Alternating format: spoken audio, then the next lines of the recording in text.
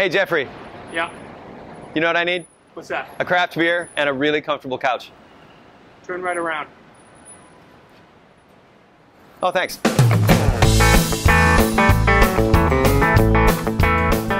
And gentlemen, welcome back to Craft Couch here at Rattle and Hum West in Midtown Manhattan. And please, sir, your name and your position, if you would. Jim Kenny, VP of Sales, Green Flash Brewing Company. My God, how lucky are we? Green Flash Brewing Company, which started in, you said 2002, is that correct? Yep, 2002, Vista, California. Vista, California, and now San Diego, California as of 2011, right? 2011. Yep. All right. Yeah, we went from a little 14,000 barrel facility to a uh, basically 47,000 square foot, 100,000 barrel facility. Wow, that's quite a move up.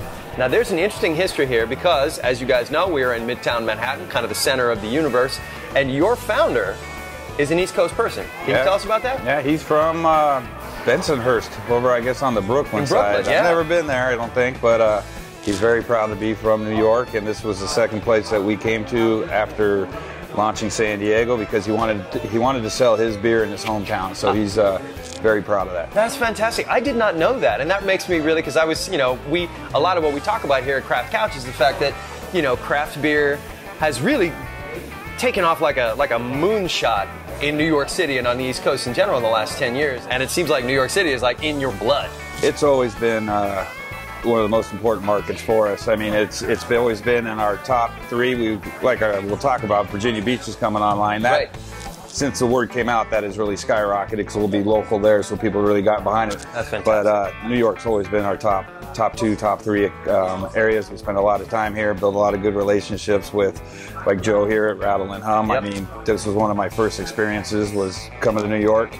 You know, when I started taking over Green Flash of Sales and coming to Rattle and Hum was like awesome. It was like coming to Mecca, right? Yeah, I'm like, you come thing. to New York if you're going to drink beer. This is one of the places you absolutely got to come in and see. So, Absolutely. And now they have couches, so if you don't have a hotel room, you can maybe crash out here later. you know, good thing I brought my luggage. I might do that. Virginia Beach.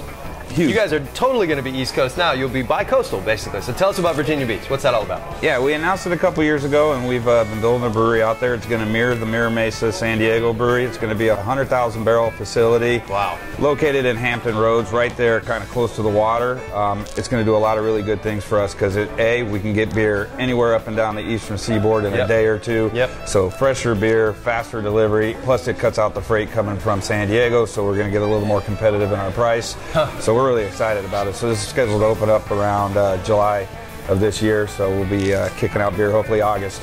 July of this year. Yeah, you know, we're good at uh, making beer. We're not very good at making breweries, and there's a lot of construction stuff that kind of held us up. But uh, All right. yeah, it was. It's, we're really excited. I just left there. I was down checking it out, so it was How's it looking? cool. It's awesome. It's, Yeah. it's fantastic, and the buzz is great. And everybody I talked to on the East Coast super excited about being able to get fresher beer and getting beer at a, you know a little bit better price point because it's pretty expensive to send beer refrigerated across the country. So, like I said, New York's always been fantastic to us. I mean, it's like our second home basically, and it's you know I guess technically we are kind of local because my Yeah. boss is you know born here. I had so- no idea. I was here. I am thinking like Green Flash. They're California guys. They're not going to know anything about New York. And like, oh my God, they know more than we do. How fun has it been to watch New York City really awaken to craft beer in the last several years? In the last, let's say, you know, five, ten years. everywhere you go, you get a different experience, and then it ties in with what's you know New York's known for is you know definitely great restaurants and food, and now Yep. you're adding in all this great food, and uh, you know establishments like this with these fine funky couches, you know.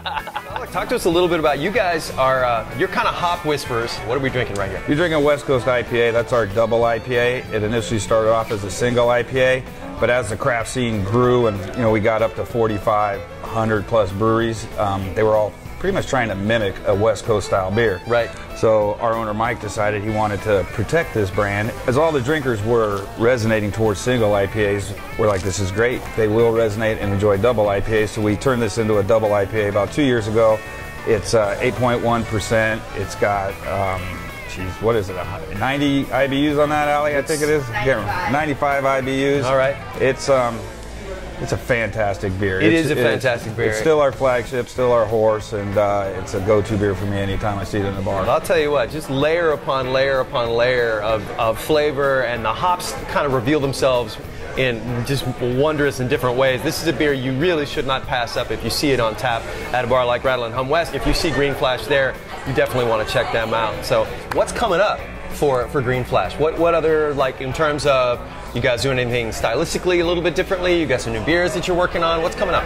Yeah, we have a couple of new things. Um, you know, with the influx of all the breweries, we've gotten a lot more new consumers trying craft beer. Mm. And with that, we have people that are coming in that are used to drinking some lighter domestics or lighter corporate crafts. So they're not really Mm-hmm. Corporate used to, uh, you know, real hardcore craft beer. So um, with that, we've had to kind of do a little bit of innovation, and we've come out with a couple of new beers. We have Soul Style, which is our single IPA, which has done great. We released that about a year and a half, and we Right. took the West Coast to a double.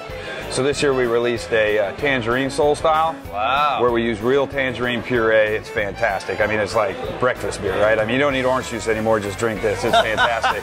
we also came out with our first um, wheat beer that we're producing nationally, and it's a uh, American wheat ale, five percent alcohol, five IBU, made with passion fruit and black tea.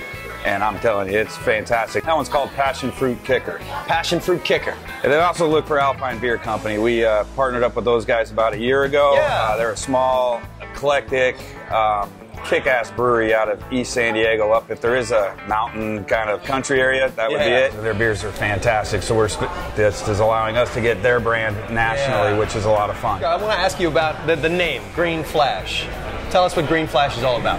Green flash is a phenomenon that happens when you're sitting on the coast in the west, looking due west, and as the sun hits the horizon, um, Yeah, on the water. at a certain time, you got to have the right elements, clear skies, temperatures got to be right. But right as the sun goes beneath the horizon, poof, you get a nice little green flash. I've seen uh, that. I've seen it before. I've seen it. I haven't seen it. I've seen it from inside our tasting room after five or six of these West Coast, but that's about it. But what's interesting is thank goodness, thank God for, for all the growth in craft beer these last several years because now Green Flash can get Green Flash in the evening on the West Coast and maybe a Green Flash in the morning over in the East. So talk about the expansion of craft beer across this country. There has never been a better time to eat and drink in recorded history, and we are so psyched that you guys are a part of that. Before we wrap up with you, is there anything you want to say to the folks in the, the craft couch community out there? Yeah, thanks for uh, supporting Green Flash all these years. Get down here and check out this new bar Joe put together. It's fantastic, and uh, look forward to tipping a pint with you if I see you out in town. Cheers. All right, we'll see you guys next time at Craft Couch featuring the Happy Hour guys, Rattle and Hum West. Cheers.